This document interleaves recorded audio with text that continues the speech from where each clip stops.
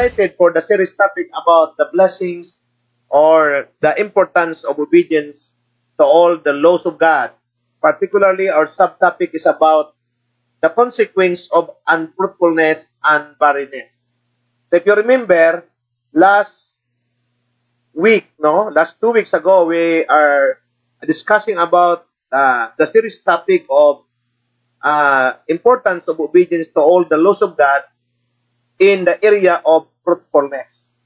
So last Sunday, I discussed about the blessings, or I mean the causes of unfruitfulness and barrenness. So, uh, uh, kita po natin uh, kung uh, paano po natin uh, ano ang dahilan, what are the uh, the causes of uh, barrenness of a person or or a believer. So tonight uh, we will uh, discuss about the consequence. No? Mayroon ba mayroon bang consequence kapag tayo ay hindi talaga lumago? Of course, mayroon po. Okay? Now, dito sa verse 2 in John chapter 15, it is very clear here. It says here, Every branch in me that does not bear fruit, he takes away. And every branch that bear fruits, he prunes, that it may bear more fruits. So, ano, anong ibig sabihin ng every branch in me that does not bear fruit, he takes away. Tatanggalin, no? Aalisin sa branch. Ang sanga o ang branch, tatanggalin sa puno ang branch na hindi namumunga. So, in the literal trees, uh, of course, anong gagawin mo sa puno na ang dami ng dahon, ang labo ng, I mean, ang, ang kapal ng dahon ng bulaklak pero walang bunga. Of course, malulungkot ka kasi akala mo you are expecting na ang dami mong harvest. Pero paglapit mo sa kanya, wala pala siyang bunga. Katulad din yan sa isang halaman, isang papaya, isang prutas. For example, isang papaya. Natuwa ka because yung papaya mo ang taba, ang laki ng dahon, ang dami ng mga bulaklak, pero paglapit mo, wala kang nakitang bunga. It's all about flowers na galing sa kanya. So flowers cannot be eaten, no? Ang flowers ng papaya hindi siya nabibinta, hindi siya nakakain. Kasi bulaklak lang siya. Kailangan the, the papaya tree will produce fruits. So, anong feeling ng may-ari ng papaya o may-ari ng tanim kung nakita niya tumataba naman, ginagasusan ng fertilizer, inalagaan, kinikultivate, pero wala naman siyang bunga. Of course, ang unang mangyari sa kanya, the first consequence sa isang puno na hindi namumunga, tatanggalin ito aalisin ito. Bubunutin ito or puputulin ito sa branch, sa, sa vine, sa puno, para itatapon sa apoy kasi wala siyang pakinabang. Now, ganun din yan. Kapag tayo po ay nag-alaga ng mga hayop, pinapataba mo, binigyan mo ng mga vitamins, pero hindi naman ng anak, no? Yung baboy, yung yung baka or yung hayop na inalagaan mo, you're expecting that uh, your uh, cared animals will produce uh, fruits, no? Na manganak siya, pero wala kang nakitang uh, anak kasi naging barin po yung nanay ng baboy o ng, uh, ng manok or anuman, ng kalabaw o ng baka. So, malulungkot ka, no? You will feel sad of what happened na you exert more efforts of having these uh, animals to be uh, cared of, but they do not produce fruit. So you will feel sad, you will feel uh, worry about your investment, your effort, your time, and of course, ang ma- maranasan mo ay iniisip mo na tatanggalin mo na lang siya, puputulin mo na lang sa puno or bubunutin mo siya kasi wala siyang bunga. So, pagdating sa tao, as a believer, ano ang pakiramdam ng Diyos na tayo minahal ng Diyos, tayo ay nalagaan ng Diyos, tayo ay binuhay ng Diyos, ginising ng Diyos everyday, pinakain ng Diyos, nilagyan ng Diyos ng hangin, tubig, ilaw, energy, wisdom, protection, provision, and promotion. But, but tayo po ay barren spiritually. Tayo po ay unfruitful as a believer. So, of course, ang feeling ng ama, malulungkot siya. Wala ding pagkaiba yan sa isang magulang na nag-expect siya na magkaroon ng apo or magkaroon ng anak ang kanyang anak, no? Magkaapo siya. But uh, all of a sudden, nakita natin na yung anak niya hindi rin magkapag-produce ng anak. Kasi because of barrenness, there's something wrong in the womb of the mother. So, ang unang maramdaman, malulungkot. Siyempre, walang masaya talaga pag unfruitful. Diba? Ang family, pag hindi tayo namumunga, malungkot. Malungkot ang magulang, malungkot ang lolo, lula, malungkot si pastor, malungkot number one si Lord, dahil tayo ay ah, inalagaan ng Panginoon, binigyan ng Panginoon ng protection, pero hindi tayo fruitful.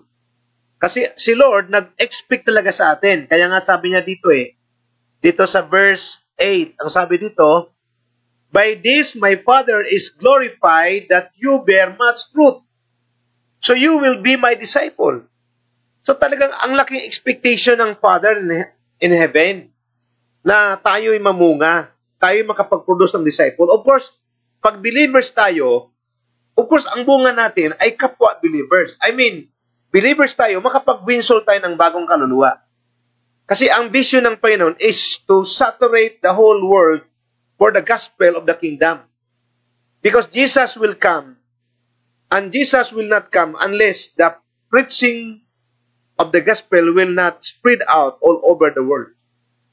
So yun ang gusto ng Panginoon na ang kanyang mabuting balita ay uh, ipakalat natin. We will spread out the word of God to all people of the world, to all nations of the world. Because this is a great command of God. This is the great commission that mentions in the book of Matthew chapter 28 verse 19 and 20. So, malulungkot tayo dahil walang production eh. Anong saysay ng nagtanim ka ng maraming puno, wala ng bunga. Sayang yung panahon, sayang yung tubig, sayang yung fertilizer, pero walang bunga. So, kaya nga, isipin po natin mga kapatid. Now, if you are a true believer of the Lord Jesus Christ, kung tayo'y tunay na manampalataya sa ating Panginoon, and then, matagal na tayong krisyano, pero wala pa rin tayong bunga. Kung ikaw malungkot sa isang anak na hindi ka man lang nagkaapo, may isa sa dami mong anak, walang anak, So what will you so? What will you do? Although tanggap mo 'yun, pero at at the inside of your heart, you will feel sad and asking, Lord, why why why this happened to my children? They have their husband, have their wives, but they don't produce sons or they don't produce grandson and granddaughters. So you will feel sad. Okay? So, ganun din ang ating Panginoon. Hindi siya masaya na hindi tayo magbubunga. Because we are created to produce fruit. Kaya ang sabi ng Panginoon, ang kanyang gagawin, pag di nagbunga, tanggalin na lang, aalisin na lang. So, masakit ang Word of God na tayo alisin sa sa ating part as a part of the family. Or masakit na tayo ay uh, matanggalan ng blessing ng Panginoon.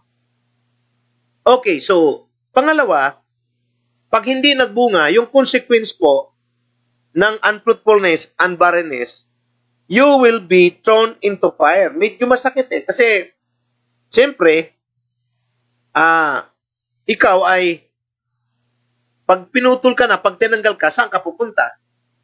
Itatlagay ka sa tabi. At pag natutuyo na, of course, susunugin ka. Susunugin ka kasi wala nang pakinabang eh, hanggang mamatay ka. So ang puno, pag binunot, masusunog yan. Ang, ang sanga na pinuputol, masusunog yan. Yan ang sinasabi ng verse 6. If anyone does not abide in me, he is cast out as branch and is withered, and they gather them and threw them into the fire, and they are burned. Now, actually, hindi po tayo tinatakot ng Panginoon na ito po ang sasapitin. Normally, ganun po talaga eh. Kahit sa puno naman, di ka na magsayang ng panahon na ha, hayaan mo pang tumubo yung papaya, wala namang bunga. Hayaan mo pang tumubo yung branch na wala naman siyang bunga. Siyempre, mag, magtanim ka ng bago, mag-replace ka, di ba? So dito masakit isipin na pag ang isang manampalataya ay hindi nakapag-produce ng bunga, ay mayroong kung consequence na maranasan niya. Maaring hindi literal na masusunog tayo sa apoy, pero maraming mawala sa ating buhay. Mawala yung mga benefits, mawala yung blessing, mawala yung rights, mawala yung mga favor ni Lord mga protection ni Lord. No?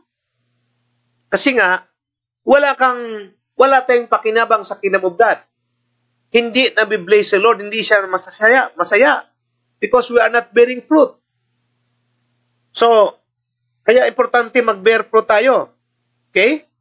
So, para hindi tayo mapunta doon sa malungkot na karanasan sa buhay kapag hindi tayo naging naging fruitful, ah, kailangan tayo magbubunga.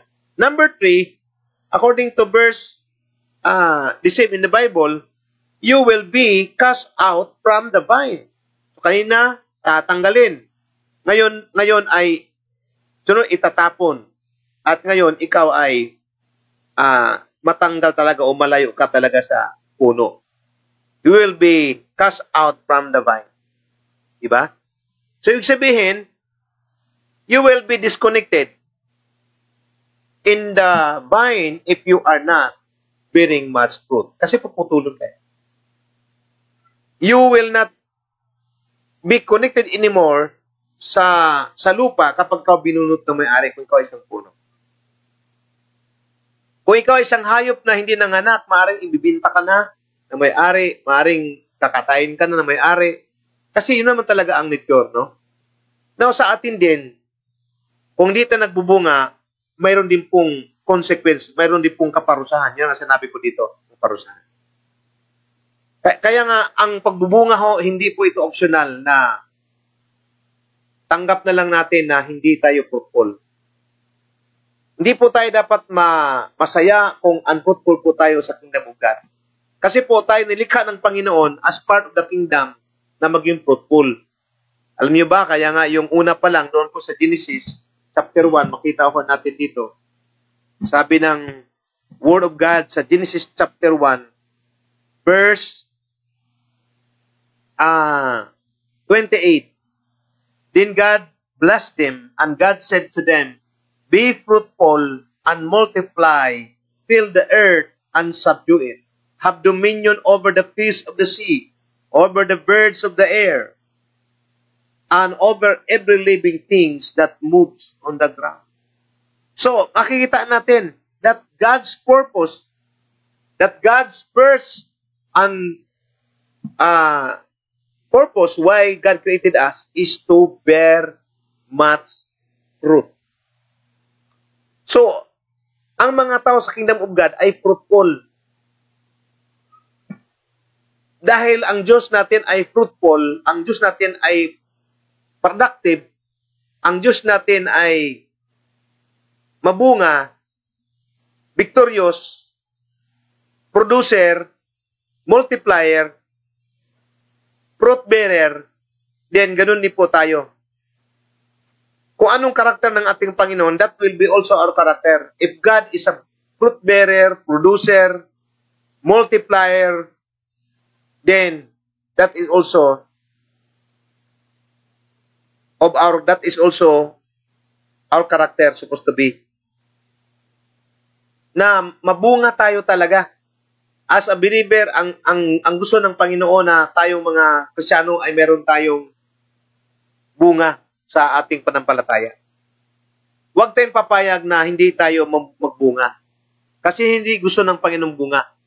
Wala tayong, hindi tayo ginawa ni Lord para hindi magbunga. Kasi sa Genesis pa lang, nilikha tayo para mag produce ng fruit and multiply. Sabi no, go and multiply and bear much fruit. So, walang Krisyanong tamad, walang Krisyanong barren, walang Krisyanong Krisyanong unproductive and unfruitful. Ang ang mga unfruitful, ang mga barren people ay yung po yung mga wala sa Panginoon. Honestly speaking, kasi nga wala silang guidance sa Panginoon.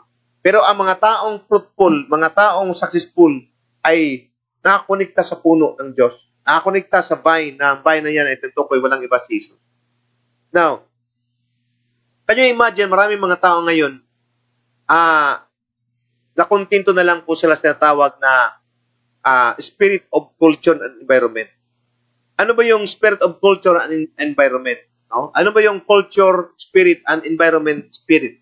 Ibig sabihin, ang daming mga simbahan ngayon, ang daming mga Krisyano na unfruitful. Maraming simbahan na hindi na nag-grow. And then, nagiging talk of the town na lang po yung okay lang, thank the Lord, praise the Lord, hallelujah. Natutuwa ka na lang, naging, nagiging statement na lang yung mga word natin sa loob ng church, sa loob ng ating mga sarili, na you're okay, kahit alam mong you're not okay. Kasi alam mo, pag hindi ka nagbubunga, kapatid, sa spiritual life mo, hindi ka nagmo-multiply, hindi ka nakapag-produce ng duplication, hindi nag-multiply ang ang life mo as a as a believer, as a living testimony for others. Ibig sabihin, you are in the uh, environment of or culture of uh, maintenance. Parang minimintan, minimintin mo na lang yung life mo na unfruitfulness. Minimintin mo na lang yung life mo na wala kang nadala sa Panginoon. At yung yung ating pagpupuri sa Diyos nagiging kuminsan nagiging artificial na lang kasi ah puring-puri natin sa Lord, ah, nag, nagbiyabanggit tayo ng mga word of appreciation and thanksgiving to the Lord pero actually alam ni Lord na hindi ka nagbubunga. The Lord knows na hindi ka nag-produce ng bunga. So, kaya nagiging religious na lang. No? Maraming mga tao ngayon umaatin sa church for the sake of worship, for the sake of uh, celebration. Pero there's nothing wrong, no? Hindi ko sinasabing masamang umaten kasi yun ang talaga ang basic. Pero, ang ibig ko sabihin, kulang. Kulang na tayo na kontento na lang sa pagdalo sa mga gawain ng Panginoon. Pero we are not fruit-bearing person. We are not a fruit producer. Or we are not a fruit multiplier. You see? We are not a productive anymore. Because nakikita natin na naging kultura na sa isang simbahan na hindi lumalago ang mga Krisyano at hindi nagpo-multiply. Nakakalungkot sa isang simbahan na mula sa leader, mula sa pastor, down sa mga leader na sila-sila na lang. Sila na lang yung nagkita-kita every Sunday, every prayer meeting, wala nang additional, wala nang bago. Kitang-kita sa dalawang mata natin kung tayo ay isang fruitful believer or hindi. Kitang-kita sa ating mga mata kung ang ating simbahan ay fruitful, productive, multiplier, or fruit-bearing church or fruit producer church. Pag wala, religious na lang ang nangyari sa atin. Pasimba-simba na lang, patin-atin na lang, pa-worship-worship, pakanta-kanta na lang, pasayaw-sayaw na lang, pero masaya ka na lang doon, pero alam mo na you are not fruitful. Alam mo, ang Panginoon, ang pinaka-concern ng Panginoon sa mga buhay natin bilang bilang Krisyano, yung tayo po'y namumunga. Because umaasa si Lord. Umaasa siya na ang makapag-reach ng word ay tayo mga believers. Kasi ang linaw sinabi ng, ng, ng, ng Panginoon in the book of Matthew chapter uh, 5 verse 16, I think, ang sabi ng Lord that we are the salt and light of the world. So how can a salt and light be effective if he is not or they are not bearing light or they are not showing light or they are not uh, functioning as a salt and light of the world? So, nagiging salita na lang natin na our church is growing, our church is okay, our church is uh, blessed by the Lord, but actually, in reality, there is no fruit inside your life, your network, your cell, your local church. And if you see that kind of church, and if you are aware of that, my brothers and sisters, dapat hindi ka na mapakali dapat. Dapat malungkot ka na. Lord, bakit ganito ang buhay ko? Tagal ko ng krisyano, pero bakit wala akong nadala kay Lord? Bakit wala akong naakay? Bakit hindi lumalago ang aking cell? Bakit hindi nag-grow ang aking network? Lord, tatlong taon na, dalawang taon na, apat pa rin kami. Ngayon po, apat pa rin kami. May nawalang isa-isa lang pong pumalit. Hindi nag-grow. Nag-replace lang ng bagong tao.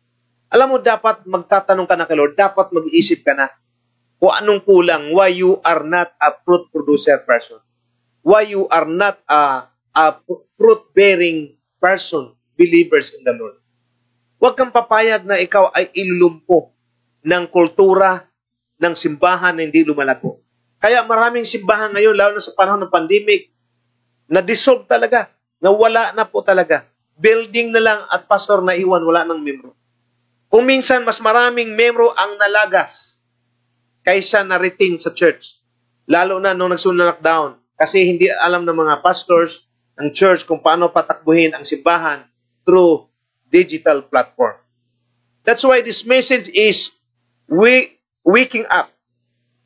The Lord is waking, waking up that we should arise and fulfill the mandate of God for us to become fruitful. Diba? We will not allow na ang ating buhay ay maging alipin sa pagka-unfruitfulness at sa pagka-barrenness. We will not allow our church, our ministry, just to become stagnant and maintenance when in fact, if it is not growing, instead of growing, but you just maintain your ministry. Nakakalungkot po yun. Ngayon, mas maraming simbahan naghihirap, maraming church na lumiliit, malaki ang building, pero lumiliit ang audience, ang congregation kasi nawala sila sa Panginoon. Kaya nga, sa gabing ito, I am encouraging you, mga kapatid, na i-rescue natin ang ating mga kapatid na nawala sa Panginoon. So, before I end, I would like to share to you how to rescue, how to grow your church. So, number one, you should you should see to it that your design is to produce fruit. You you should you should be aware of that. Na design ka ni Lord para mamunga. Okay? Now, pangalawa, you have to take action, no? You have to take action by through number one by prayer and then by action, planning. Lord, what will I do in our church and my ministry? My ministry and church is not is not growing anymore. I am not a fruit producer anymore. I become unfruitful na I become barren in my life, in my church, in my ministry. So you have to ask God. You have to pray for God. Now, number three, you have to set goals. You have to set goals in your life. You have to set goal how many people who are who are losing in your church, in your network. Alamin mo, ilan na ang membrong nalagas sa simbahan mong di mo na nakita mula nung nag-lockdown because you are not able to connect to them. At hindi mo na silang papalik. Ilista mo. So, sino-sino ang ating sino-sino ang ating i-rescue? Number one, we need to rescue our lost fallen or backslider. Number one, leaders inside the church. Hindi po exempted ang leaders na babakslide o manghihina kay Lord. So, i-rescue natin sila. Ibalik natin ang tatawag na re- Operation Rescue. Operation Rescue in our church, in our local church, in our network, in our cell. So, una, ang rescue, uh, leaders inside the church na nanghihina o nawala na sa church. Pangalawa, We will rescue our fellow brothers and sisters in the Lord. Ang ating mga kapatid sa Panginoon na nawala na, disconnect na because of the crisis, uh, lockdown, na lockdown sila at din nakabalik, we have to find them. Alamin natin na saan sila. I-search natin sa internet, sa Google, ang kanilang mga pangalan, ang address, ang email, ang contact number. At try to rescue them, connect to them again. Okay? So, believers, Marami ngayong believers nang hihina. Maraming Krisyano ngayon na wala ng gana, na walang, na, they're hopeless anymore. And then number three, we will rescue the unbelievers. Mas marami ang unbelievers, yung mga hindi pa nakilala sa Panginoon, yung hindi naniwala sa Diyos. Yung mga skeptics, yung mga atheists, yung mga other uh, people who don't believe in God. No? We need to rescue them. We need to love them. We need to have passion for them. So, yung tatlo pong mga klaseng tao ang ating rescue. Operation Rescue in our local church. Rescue the leader, rescue the believers, and rescue the unbelievers. Now, I believe after we are being unfruitful and barren in our life, in our ministries, I believe if we are now aware of what I'm seeing, what the Lord has seen to us tonight, tonight we will become, we will start to become fruitful. We will start to become multiplier. We will start to become fruit producer, uh, fruit bearing trees in the sight of God so that the Lord will be happy. The Lord, the Father will be glorified if we will bear much fruit. Amen? Can you say amen? So, yes, do not stay in the state of being uh, unfruitful or do not stay in the spirit of environment of uh, unculture of uh, maintenance and culture and environment of not growing anymore or not being uh, fruitfulness in the sight of God. Because that is not the lugar. Hindi kalooban ng Panginoon kapatid na hindi magbubunga. Kahit anong area, dapat magbunga tayo. Sa ministry, nagbubunga tayo. Amen? Ang pamilya nagbubunga. Ang ating negosyo nagbubunga. Ang ating mga trabaho nagbubunga. Ang ating pag-aaral nagbubunga tayo. Life must be productive. Life must be a fruit-bearing. Life must be prosperous. Because that is the desire of God for us to become prosperous. Now, sa gabing ito, if you desire to become prosperous, if you desire to become fruit-bearing, trees, fruit-bearing persons, leaders, leaders, believers, I will pray for you tonight. Kapatid, if you're a Christian, pero nag-atin-atin ka na lang, o minsan nga wala ka nang ganang umatin, I encourage you tonight, come closer to the Lord again. The Lord is looking at you. The Lord is waiting for you. Come closer to God again. Rededicate your life again to Jesus. Come to church again. Commit your life again. Get involved in the ministry. Because, you know, previously, currently, what I mentioned is that there is a consequence of unfruitfulness and barrenness. Hindi gusto ng Panginoon manatili ka sa hindi paglago. Gusto ni Lord lumago ka. Kaya walang simbang di dalago dapat. Walang krisyanong di dalago dapat. Walang believers na hindi dalago dapat. Dalago po talaga tayo because that is God's design for us. Now tonight, I will pray for you. First prayer I will offer tonight. Are you in trouble? Are you sad? Do you feel anxiety in your life? Are you worried about your future? your life because of the COVID-19? Are you now hopeless? Are you in difficult situation? Are you in pain? Are you in the problems of your financial or in your work, in your business? God has a miracle for you. Whatever your problems, whatever your need, whatever your pain, sickness, and disease, God is greater than your sickness. God is greater than your need. God is greater than your trouble. And God is greater than your pain. Believe in God today. I will pray for you.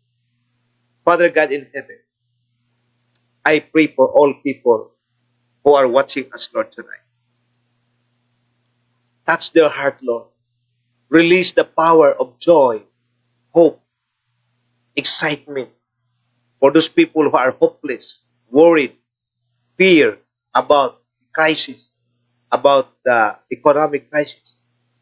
Lord, restore their joy in their heart. Restore their life.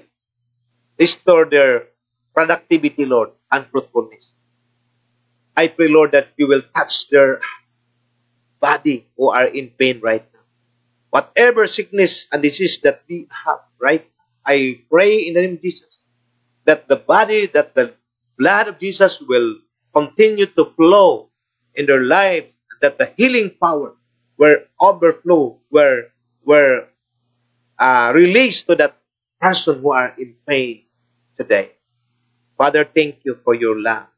I pray and I release the blessings of prosperity, blessings of productiveness, fruitfulness, spirit of multiplication, fruit bearing, and uh, fruit producer.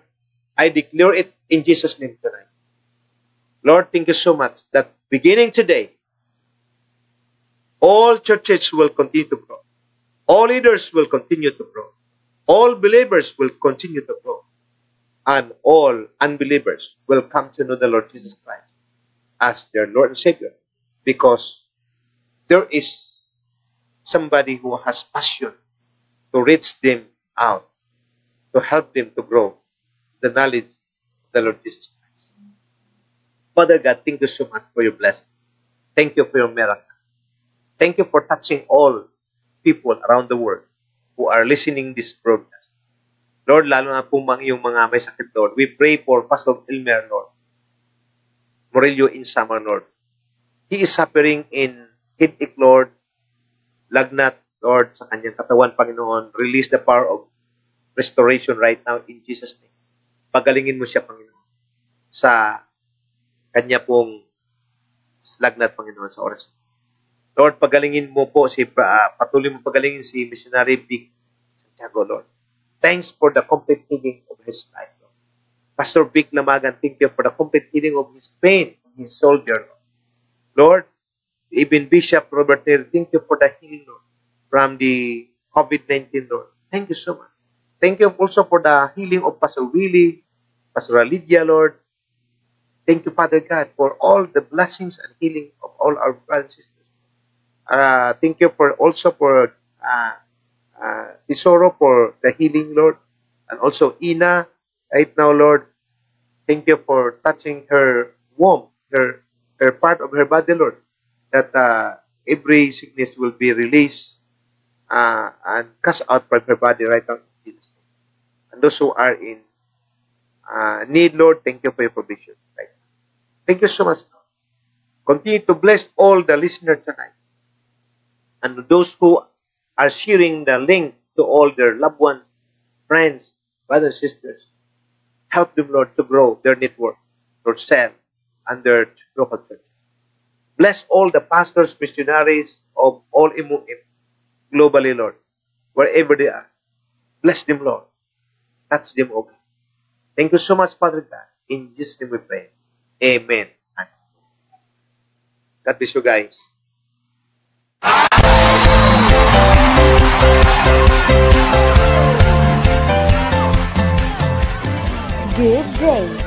Fellow Miracleians. Let us grow deeper and wider from the Lord by continuously joining these great opportunities. Our Sunday worship services at 8 a.m., 10 a.m., and 2 p.m. Tuesday cutting edge leadership training at 7 p.m. and Friday mentoring at 7 p.m. via Facebook live stream. Also, do not forget to like, share, follow, and subscribe to all our social media accounts. Let us always expect something new from him every time we hear and listen his words through our Bishop William C. August. Keep in touch and may God bless you.